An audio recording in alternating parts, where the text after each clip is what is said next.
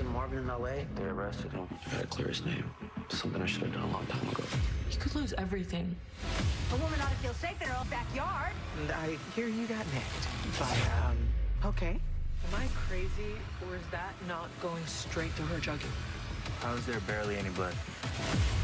I have no idea. 911 Lone Star, all new next Tuesday on Fox.